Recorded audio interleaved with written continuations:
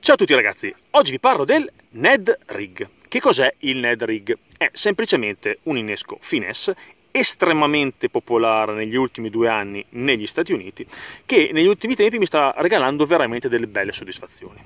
È molto molto semplice, niente di nuovo e niente di ciò che non abbiamo visto fino adesso, cioè semplicemente una testina piombata con innescato un'esca dietro che può essere di varie forme, di varie eh, dimensioni e soprattutto di varia densità. Poi andremo a parlare di questa cosa perché è la chiave decisiva del Ned Rig.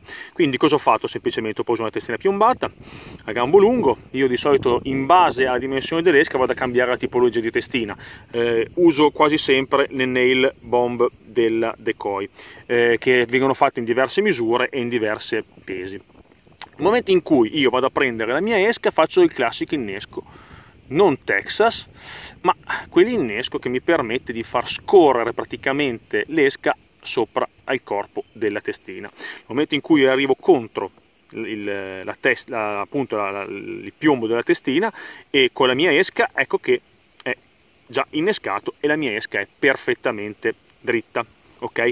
Voi mi direte cosa cambia dalla classica shaky head? Cambia e non poco, perché nello shaky head di solito noi andiamo a montare un verme stretto e lungo, che appunto scende molto velocemente, che resta stand up per il 90% delle volte e vibra molto bene, eh, soprattutto la coda che è la chiave decisiva dello shaky head. Qua invece è completamente diverso. Io qua ho innescato l'Imo Ripper della G-Crack, che è un'esca che sembra praticamente disegnata appunto per utilizzare l'innesco eh, Ned Rig.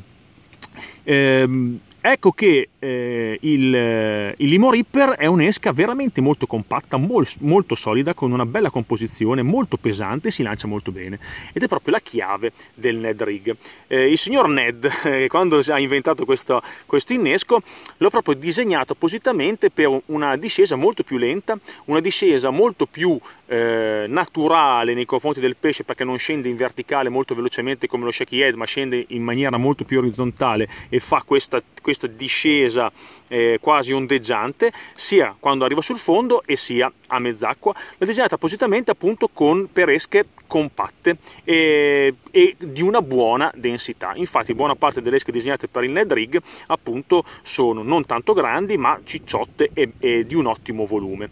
Eh, qua io ho innescato appunto l'Imo Ripper eh, per dare una um, sensazione di finesse veramente molto importante. Ma ad esempio qua ho utilizzato un semisenco, un senko style ad esempio eh, in questo caso ho montato invece una testina piombata molto più grande e molto più ampia e l'ho adattata a un'esca come questa.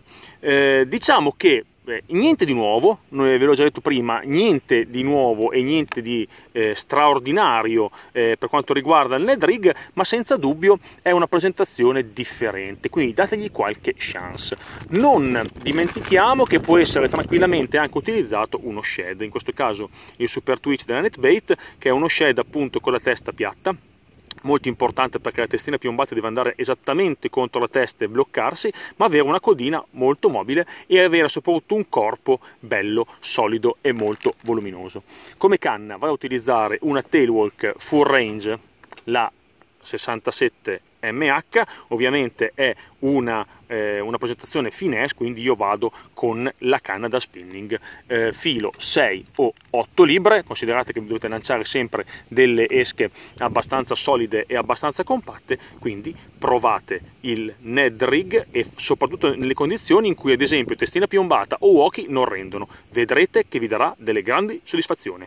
In bocca al basso!